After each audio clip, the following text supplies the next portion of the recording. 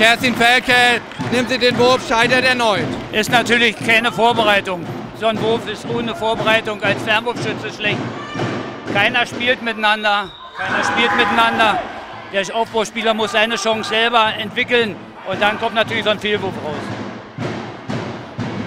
Richtig, gerade heute, wo es nicht läuft, muss man sich doch die sicheren Bälle suchen, nicht die schwierigen.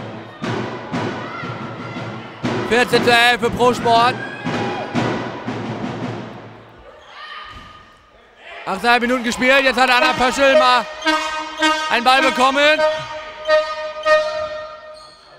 Tini Schröder kriegt den Ball, aber dann festgelaufen und Schwerin muss neu anlaufen. Eineinhalb Minuten vor Ende der ersten Hälfte. So hat man sich das auf Schwerin nicht vorgestellt. Das kann ich mir vorstellen, aber das ist der Handball nun mal. Der lebt aus den Situationen, wie sich das stellt.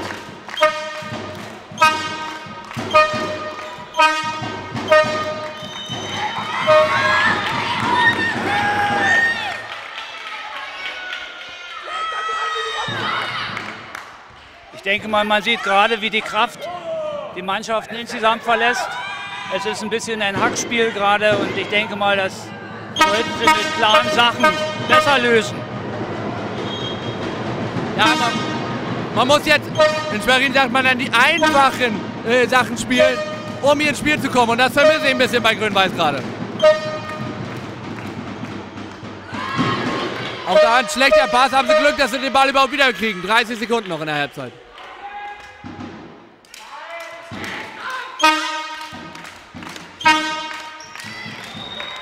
Das sah ja schon aus wie ein Stürmerfoul. Der Ball war weg, die Spielerin zieht. Und Tini Schröder nach dem Anspiel von Kerstin Felke.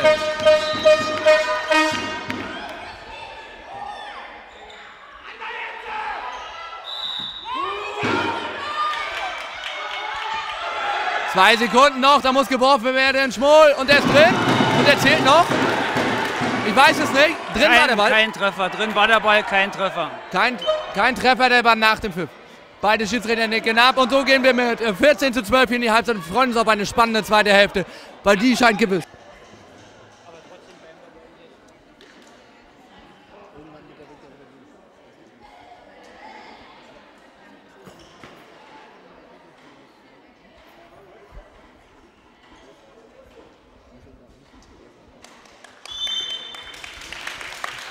Auf geht's, zweite Halbzeit. Profisport 24, Berlin gegen SV Grün-Weiß Schwerin. Und die Vorzeichen äh, hatten das versprochen, was wir, was wir schon erwartet haben. Pro Sport gut in das Spiel gekommen, führt zur Halbzeit mit 14 zu 12.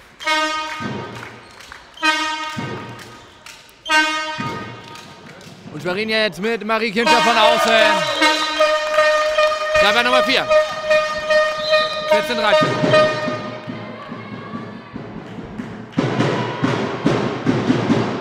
Schwerin Glück, dass sie natürlich anwerfen, zweite Hälfte. So können sie das erste Mal wieder seit langer Zeit auf ein Tor verkürzen.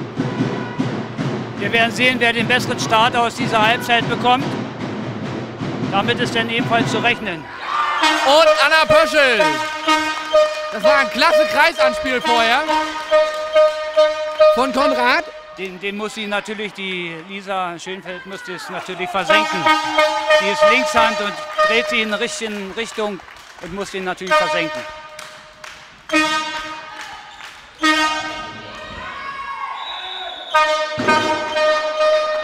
Und jetzt gibt er sieben Meter und da kann er mir schon langsam bange werden für Schwerin. Für Grün-Weiß Schwerin. Und hinter, hinter uns hört man es gerade die Fans sagen, eigentlich können wir uns gar nicht freuen. Es gibt sieben Meter vor uns. Das ist natürlich nicht Ich denke mal, hier gibt es ein generelles Problem gerade. Haftmittelverbot besteht in dieser Halle. Ich denke mal, die Schiedsrichter werden jetzt den Ball tauschen und müssten natürlich eine Spielerin zum Waschen schicken.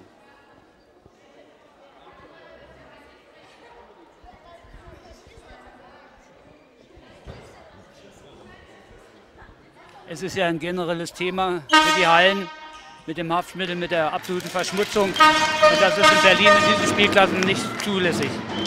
Und jetzt die erfahrenste im Schweriner Team, Antje Thormann. Marie Kinscher mit dem Nachwurf, der ist drin. Und ich habe schon einiges im Handball erlebt, aber 5, 7 Meter alle verworfen habe ich noch gar nicht gesehen.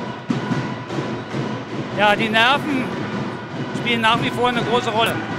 Ja, und gerade bei der erfahrensten Antje Thormann hätte man gedacht, die Nerven spielen nicht mit, aber so kann man sich irren. Und jetzt der Wurf von der Aussehen ist drin. Die Führung für Pro Sport. Er geht natürlich durch die kurze Ecke, was eigentlich nicht sein darf. Dieser Schönfelder mit ihrem dritten Treffer. Schwerin ging gerade in ein 4-2 über und wollte eine neue taktische Maßnahme dadurch stellen. Ja, bei Pro Sport sehen wir es ein 5-1-System. Tini Schröder ebenfalls mit ihrem fünften Treffer. Und äh, sie hat eben etwas beherzigt, was mir ein äh, Handballlehrer mal sagte, man kann nicht unter dem Tor durchwerfen. Nur oben drüber und der war abgestanden. Schade, aber es war auch eine sehenswerte Aktion, diesen Heber mal zu ziehen. Ja, und jetzt erstmal die Chance hier für Schwerin wieder in Führung zu gehen. Und mal und durch den Kreis gelaufen. Leider falsche Sperre. Falsche Sperre. Da ist die Möglichkeit wieder dahin. Und entgegen die Möglichkeit von Antonia Wecke. Zweiter Treffer. 16,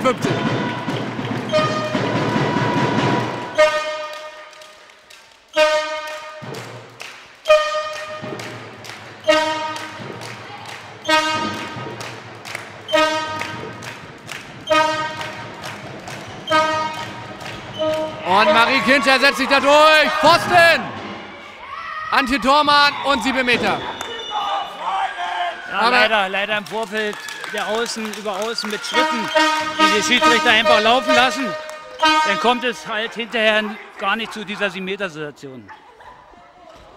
Ja, und jetzt äh, der erste doppelte Wendy Künze mit Versuch Nummer 2 bei 7 Meter Nummer 6.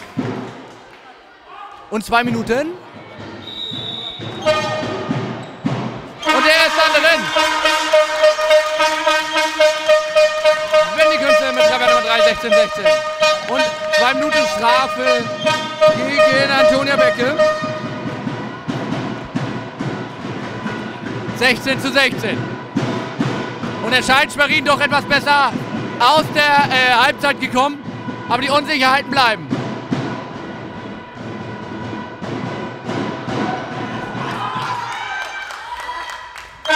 Und jetzt der Konter.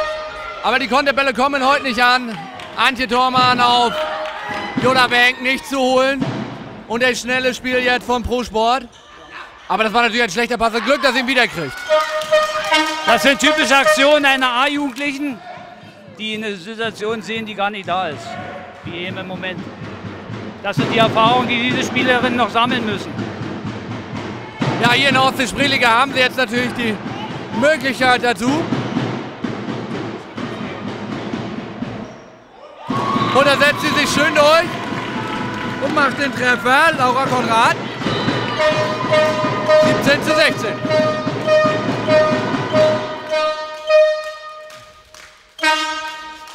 Schön durchgesteckt, Tini Schröder und Sabine von Angen. Der Torhüter hält natürlich in dem Moment diesen Torerfolg auf. Zum Glück für die in Unterzahl spielenden Pro-Sportler. Aber man hat ja noch mal gesehen, bis jetzt steht dieses Überzahlverhältnis von Schwerin in keinem Verhältnis zu diesem Unterzahlverhältnis von Pro-Sport. Wir haben kein Mittel, dieses Überzahlverhältnis klarer zu spielen.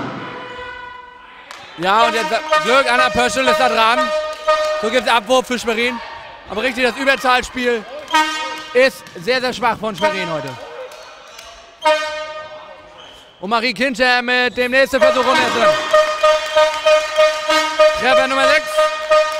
7, 7. Äh, 17, 17 natürlich.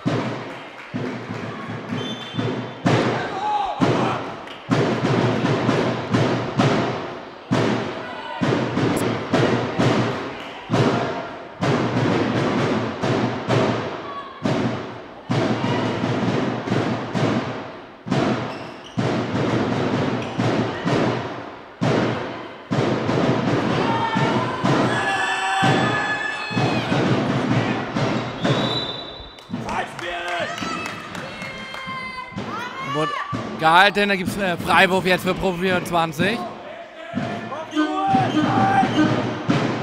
Und da ist die Lücke und Anna Pöschel. Und Versuch Nummer zwei ist dann drin. Lisa Schönfelder, 18, 17. Und da hat die Schweriner Torhüterin endlich mal beiden ran und der Nachwurf ist dann trotzdem drin. Glück für Schwerin. In der momentanen Situation Glück für Schwerin. Die Entscheidung der Schiedsrichter werden sich nicht verändern, scheinbar in der Schrittregel.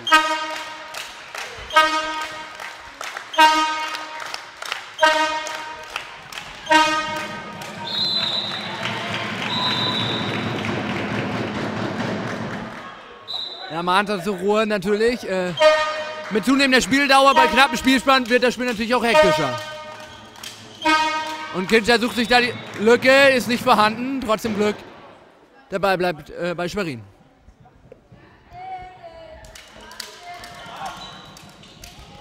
Schlechter Pass da von Bank, haben Schweriner wieder Glück.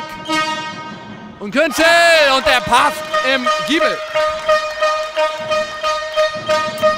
Treffer Nummer 4. War schon, war schon ein ordentlicher Wurf in Dreiangel. Ja, vielleicht ein Weckruf, den Schwerin gebraucht hat jetzt.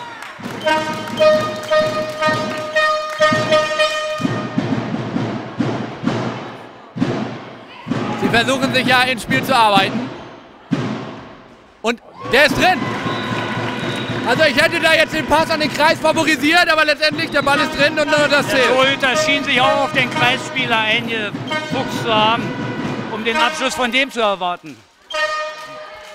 Ja, aber Charlotte Gutloff findet da die Lücke zwischen zwei Händen, die natürlich auch nicht sein darf. und dann ja, ja. mit Glück, auch wenn der Torwart noch dran ist, ist der Ball drin. 18 zu 19 für Pro Sport 24.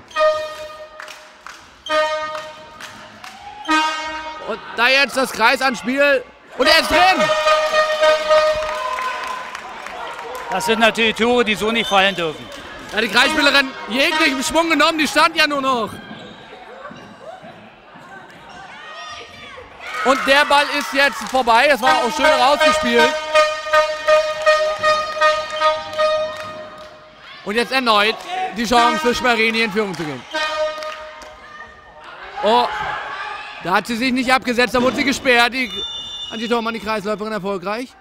Und der Abbruch des Angriffs jetzt aufgrund Der einer Verletzung. Schiedsrichter auch mit wenig Fingerspitzengefühl pfeift den Konter zurück. Das ist natürlich nicht üblich. Richtig, äh, Konter ausspielen lassen, so steht es in den Regeln. Aber er hat da Rücksicht auf die Spielerin genommen. Lisa Schönfelder liegt da am Boden und wir hoffen, dass nichts Schlimmeres ist. Bisschen am Knöchel.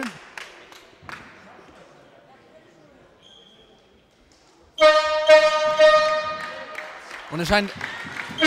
Und da ist sie wieder auf den Beinen, kann wieder gehen. So erhoffen wir uns das. Ich denke mal, für beide Mannschaften ist nach noch bei verbleibenden 20 Spielminuten die Chance immer noch pari pari. Und ich denke, wer jetzt sein Konzept durchsetzen kann, der wird auch zum Ende die Punkte mit nach Hause nehmen. Ja, aber genau, genau das ist es.